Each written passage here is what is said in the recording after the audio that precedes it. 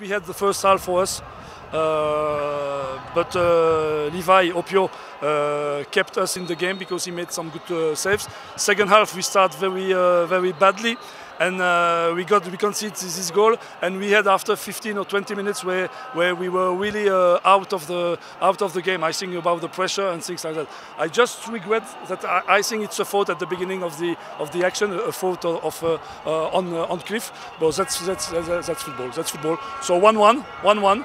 Uh, we didn't win, but we didn't lose. Coach, on the build-up of Gor Mahia's goal, it's like there was a foul. What That's, do you say? that's what I say. Uh, I talked to him. Uh, the, the referee said that uh, uh, for him he, he, he didn't see the, the fault.